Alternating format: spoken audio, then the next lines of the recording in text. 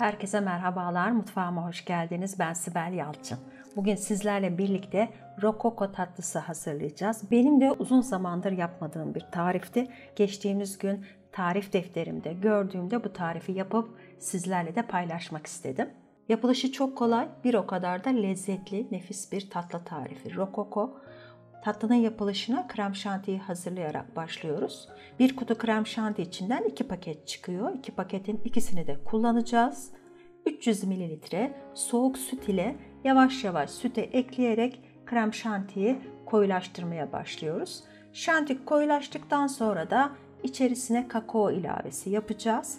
Kakaoyu ekleyip tamamen kakao şantiye karışana kadar karıştırma işlemine devam ediyoruz. Bu esnada tabii şanti de gittikçe koyulaşacak. Videoyu çekerken şu geldi aklıma. Bu yaklaşık 25 yıllık bir tarif diyebilirim tahminen. E, o zamanlar kakaolu krem şanti yoktu. Ve biz de haliyle kakaolu krem şanti elde etmek için krem şantinin içerisine kakao ilave ediyorduk. Ben videoyu çekerken tarif defterimdeki haliyle sizlerle paylaştım. Siz isterseniz direkt kakaolu krem şanti kullanabilirsiniz.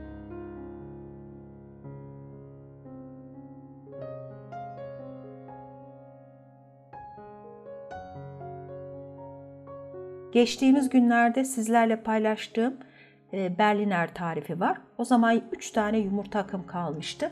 O yumurta aklarıyla beze yaparak yumurta aklarını ziyan etmemiş oldum ve o bezenin 60 gramını da bu tatlımın içerisinde kullandım. Videonun sonunda hem sizlerle Berliner hem de beze nasıl yapılır tariflerini paylaşacağım. Linkleri tıklayarak tariflere ulaşabilirsiniz.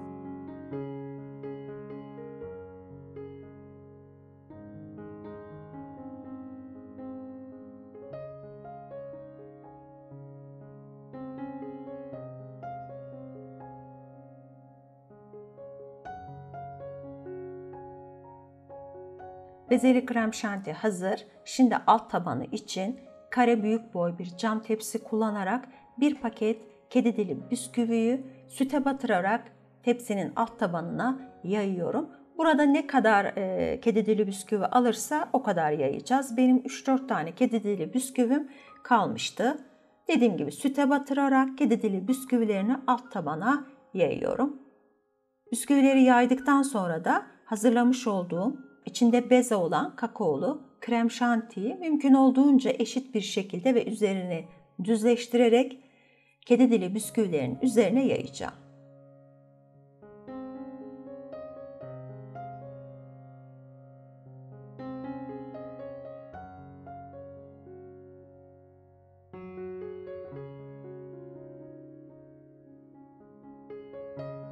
Bu tarifte alt tabanına bisküvi kullanılarak yapılanı da var. Bisküviyi blenderdan geçirip biraz ılık tereyağı ile eritmiş olduğunuz ılık tereyağı ile iyice karıştırdıktan sonra cheesecake tabanı yaparmış gibi altına tabanı bastırarak yayıp ondan sonra üzerine krem şantiyi koyuyorsunuz.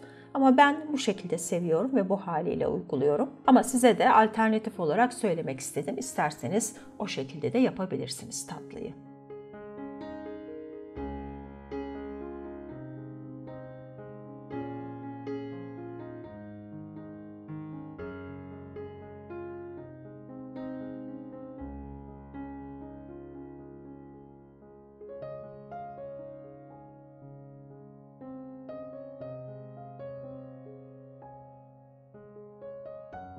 Tatlımız hazır. Dolaba kaldırdım. Şimdi üzerine fındık krokan hazırlayacağız.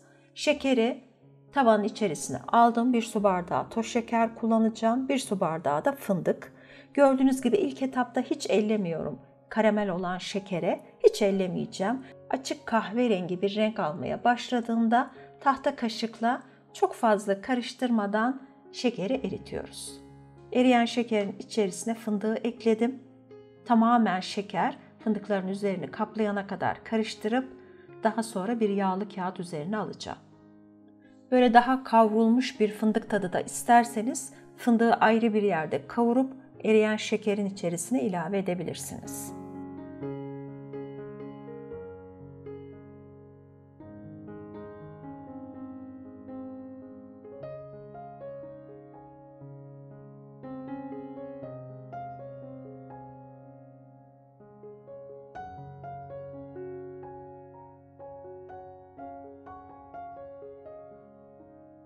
Evet, gördüğünüz gibi yağlı kağıt üzerine aldım. Biraz ılınmasını bekliyorum. Çok fazla sertleşmeden şeker elimle kırıp e, hazırladığım fındık krokanı blenderın içerisine alıyorum.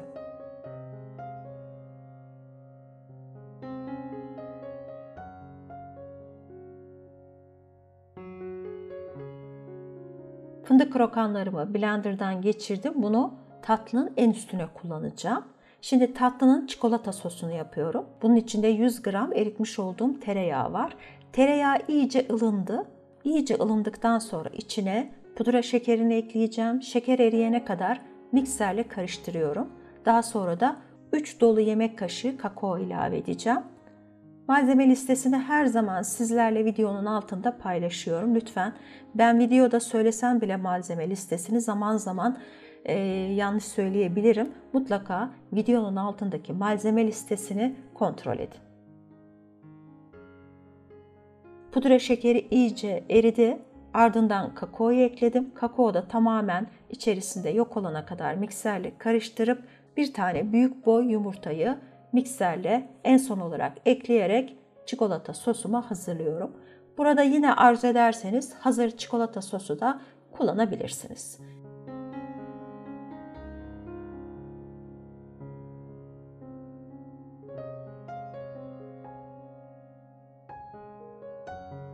ince bir tabaka halinde hazırlamış olduğum çikolata sosunu tatlının üzerine yayıyorum. En son olarak da fındık krokanımızı blenderdan geçirmiş olduğumuz fındık krokanı üzerine eşit bir şekilde yaydım.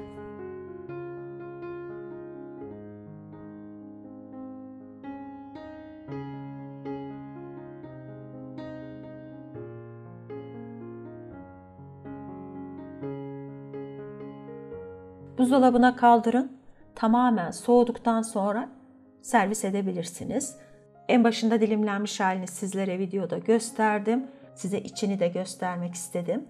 Kaşık kaşık bu tatlıyı afiyetle yiyeceksiniz. Çok lezzetli oluyor. Yaz kış herkesin çok beğenerek yiyeceği rokoko tatlısı hazır. Yapıp yiyen herkese afiyet olsun. Videomu buraya kadar izleyen herkese çok teşekkür ediyorum.